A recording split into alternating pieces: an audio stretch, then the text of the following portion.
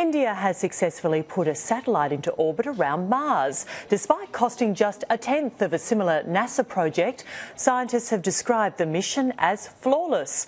The satellite has launched India into a small club of elite space travellers. Making it to Mars is a huge achievement for any space agency. And by putting a probe into orbit, the Indians have become part of an elite group of explorers.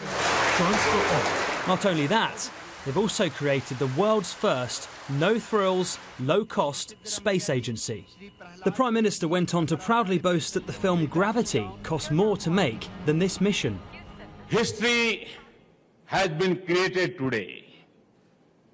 We have dared to reach out into the unknown and have achieved the near impossible.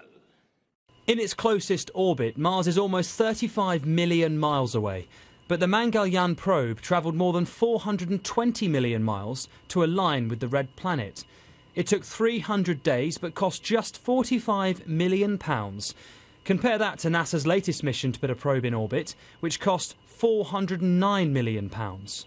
The Mars Atmosphere and Volatile Evolution mission, MAVEN, will go to work in orbit on Monday, Maven also successfully reached Mars. From recent trips to the Red Planet. Its mission is to study the atmosphere of the planet, to build a better understanding of current and past climate conditions. NASA and the Indian Space Research Organisation are likely to share data, as Mangalyaan is on a similar mission.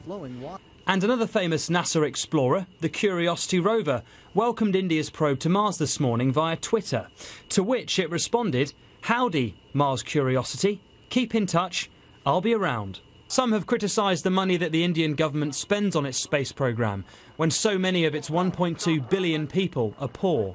The UK still gives the country hundreds of millions of pounds in aid every year. But Delhi argues that success in space will boost India's space industry and make money in the long run. Joe Tidy, Sky News.